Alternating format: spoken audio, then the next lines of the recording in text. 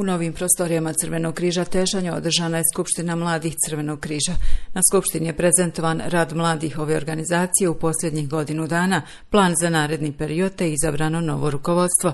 Skupština je održana u sklopu kampa na kojim je prisustvovao i veliki broj mladih Crvenog križa iz drugih gradova Bosne i Hercegovine. Pozvali smo mnoge organizacije iz Bosne i Hercegovine i to je sve E, omladina koja tu prisustvuje i nama je cilj da se mi e, družimo, dobro zabavimo, e, steknemo neka nova poznanstva, umrežavanje ovih organizacija i eto jednostavno da naučimo nešto novo.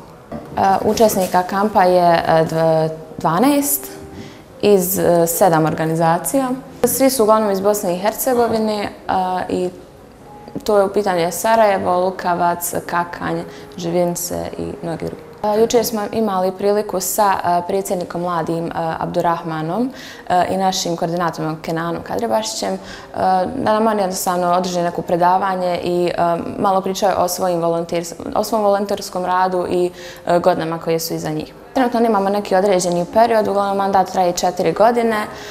Konferenciju možemo staviti kada mi želimo, ali bitno je da mi sada odaberemo novo rukovodstvo. Moji motivi su da pomažemo ljudima, da se aktiviramo oko dobrovoljnih davavca krvi, da e, imamo pozitivan učinak na društvo i okolinu. Zadaci rukovodstva jeste menadžment e, oko financija, te e, briga o aktivnostima i budućnosti Crvenog križa, a pogotovo mladi Crvenog križa. U zadnje vrijeme imamo više odziva nego prije, jer smo počeli po društvenim mrežama da se aktiviramo, to je po Facebooku, po Instagramu, Eh, ako Bog da i po TikToku i po YouTube. Na neki naredni period jeste aktivacija mladih, sad imamo dobar odziv, ali uvijek to može da bude bolje i planiranje budućih aktivnosti kako bi Crveni križ postao dio uh, svakodnevnice u priči društva i okolini.